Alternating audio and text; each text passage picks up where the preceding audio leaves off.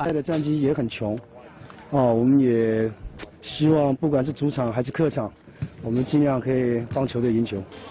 青岛想赢球，麦地盼胜利，可人家江苏手里也没有余粮啊。不过无论怎样，球迷们的支持始终没有改变。在微博中强调绝不会离开的麦地，今天依旧首发。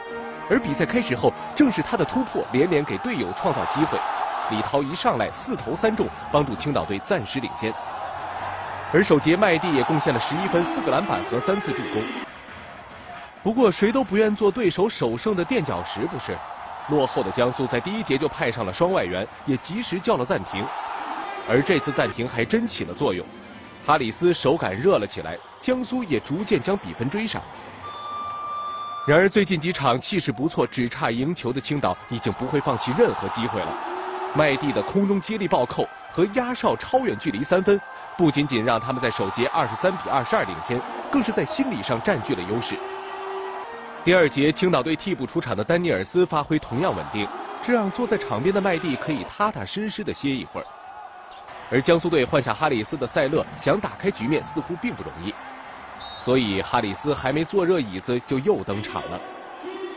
当然，除了外援的稳定表现，今天青岛队其他人的发挥也不错。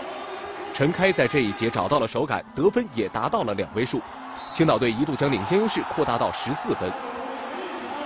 半场结束前两分钟，江苏队的暂停再次起了作用，他们针对陈开做了防守，将比分追进，五十三比四十六，青岛队领先七分，进入到下半场。下半场麦蒂重新登场，球队的领先减少了他肩上的压力，精彩的暴扣也是越来越多。不过看塞勒在暂停时的状态就知道江苏还有应对招数。果然，哈里斯和孟达的连续三分吹响了反攻的号角。麦蒂从走下场休息到不得不重新披挂上场，连半分钟都没有。而青岛也一度被江苏追成七十三平。好在随后麦蒂的助攻帮助青岛队稳住了局面。前三节青岛队八十三比七十四暂时领先，距离他们的赛季首胜越来越近。